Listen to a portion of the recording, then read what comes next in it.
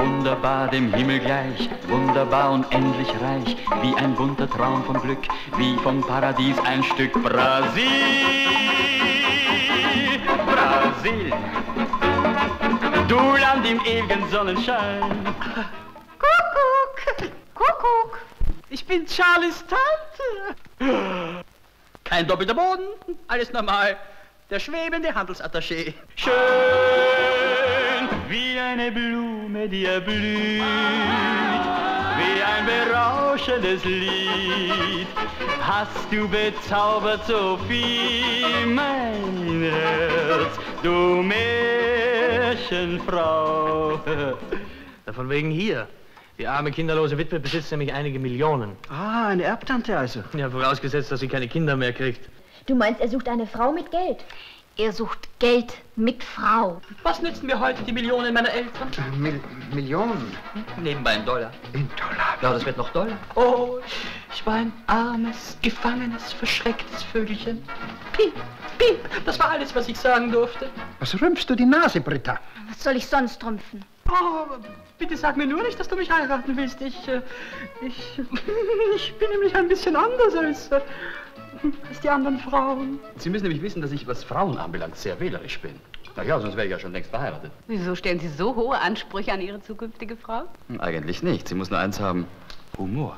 Seien Sie unbesorgt, Herr Doktor.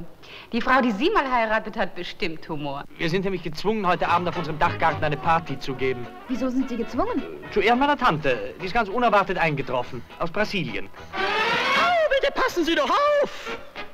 Sie tun mir weh! Haben Sie Kinder? Nein. Neun. No, no, oh ja, ja, in Einpreislagen von zwei bis zwanzig. So viele Kinder habe ich Ihnen noch gar nicht zugetraut. Charlie war ein verstocktes Kind. Sein reicher Vater ging zum Psychologen. Dieser nahm einen Stock geschwind und der Komplex von dem Kind war verflogen. Au, bitte passen Sie doch auf. Sie tun mir weh. Au, bitte passen Sie doch auf. Bitte passen Sie doch auf. Sie tun mir weh. Oh, entschuldigen Sie, das wollte ich nicht.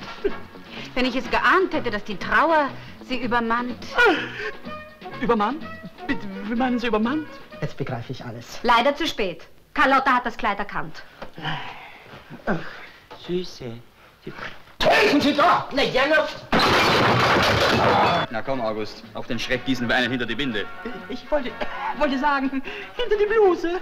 Und Sie sehen zu, wie hier junge Mädchen herumhüpfen. Ich sehe gar nicht so. Hula Macho! Was ist denn? Hände weg, Sie Wüstling! Nicht gucken! Das ist ja allerliebst, ist das niedlich! Oh, wir tauschen die Kleider, kommen Sie, meine Süße! Aber immer tut er das nicht. Das macht der Jackie nur wenn der Mond scheint, nur wenn der Mond scheint, macht er das.